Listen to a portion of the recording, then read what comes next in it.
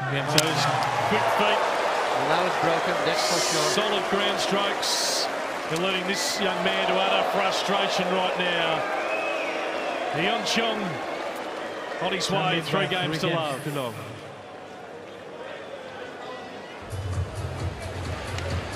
Code violation racket abuse warning Mr. Zverev.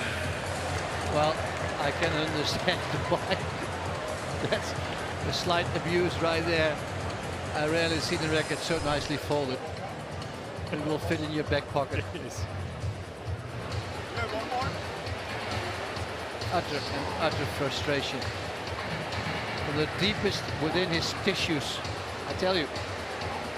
It was slowly building up already over this match. He was just not able to put him away, this Korean. He has been with him the whole time.